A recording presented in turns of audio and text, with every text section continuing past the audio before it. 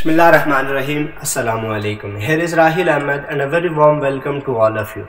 Students, organic uh, chemistry का chapter number one हमने start किया हुआ है यानी कि सेकेंड ईयर केमिस्ट्री का चैप्टर नंबर थ्री ठीक है uh, आज सेकेंड लेक्चर होगा and that is on vital force theory आज के इस लेक्चर के अंदर हम वाइटल फोर्स थ्योरी पर बात करेंगे लास्ट टाइम फ़र्स्ट लेक्चर के अंदर मैंने आपसे ये कहा था कि vital force theory organic chemistry की जो ओल्ड क्लासिफिकेशन थी, यानी कि जो पुराना कॉन्सेप्ट था, उसको अंडरस्टैंड करने के लिए काफ़ी ज़्यादा इंपॉर्टेंट है।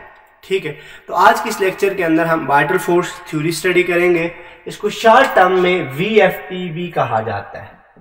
V F T vital force theory बहुत दफ़ा ये एग्ज़ाम पेपर में आती है। इससे क्वेश्चंस आ जाते हैं वाइटल फोर्स थ्योरी पे एक आध क्वेश्चन आता है, ठीक है? लोअर लेवल पे तो अक्सर रिपीट होता है, लेकिन एफ़ एस सी के चांसेस कम होते हैं।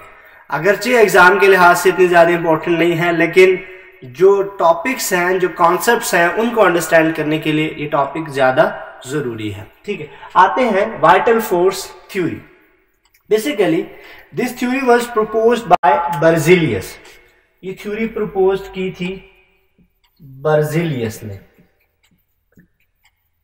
बहुत फ़ेमस साइंटिस्ट है, जिसने एलिमेंट्स की सिंबल भी प्रपोज की हैं। जो आप देखते हो ना नाइट्रोजन के लिए आप एन लिखते हैं कार्बन के लिए सी लिखते हैं पोटाशियम के लिए के लिखते हैं सोडियम के लिए एन ए लिखते हैं।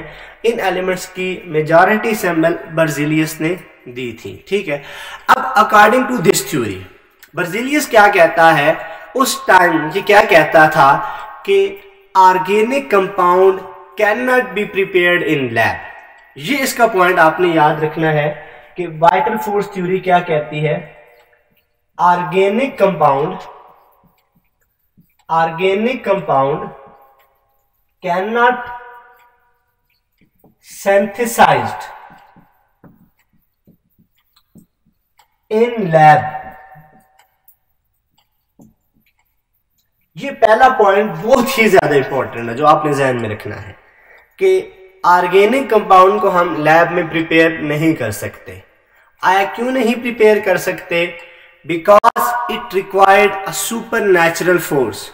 कि ऑर्गेनिक कंपाउंड को बनाने के लिए एक सुपर नेचुरल फोर्स होती है, जिसे कहा जाता है वाइटल फोर्स, और वो फोर्स सिर्फ़ और सिर्फ़ लिविंग ऑर्गेनिज्म में मौजूद होती है। तो आप क्या कहोगे कि because their synthesis. Their synthesis required a super natural force called vital force. And it is only present in living organism. It is present in only in living organism. दोबारा इस बात को समझ लीजिए।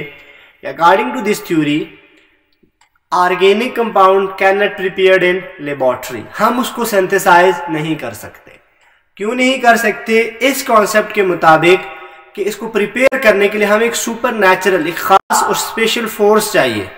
और वो स्पेशल फोर्स सिर्फ़ और सिर्फ़ लिविंग ऑर्गेनिज्म की बॉडी में मौजूद होती है और वहाँ से हम उसको ऑप्टेन नहीं कर सकते, ठीक है? अब ये कहेंगे कि this force this vital force this vital force can not obtain from them इस वाइटल फोर्स को उनसे ऑप्टेन नहीं किया जा सकता। अब जब हम फोर्स नहीं ले सकते, उसको प्रोवाइड नहीं कर सकते तो फिर ऑर्गेनिक कंपाउंड को प्रिपेयर भी नहीं कर सकते। ये कॉन्सेप्ट नाइनटीन सेंचुरी के बिगिनिंग के बाद, यानी कि बिगिनिंग में प्रपोज हुआ और मिड तक ये काफ़ी ज़्यादा इंपॉर्टेंट रहा, काफ़ी ज़्यादा ये चलता रहा। लेकिन अराउंड अबाउट 18 28 round about 1828 एक जर्मन साइंटिस्ट है फ्रेडरिक हुलर फ्रेडरिक हुलर ने क्या किया कि एक इनऑर्गेनिक कंपाउंड को यूज़ करके ऑर्गेनिक कंपाउंड लैब के अंदर प्रिपेयर कर लिया।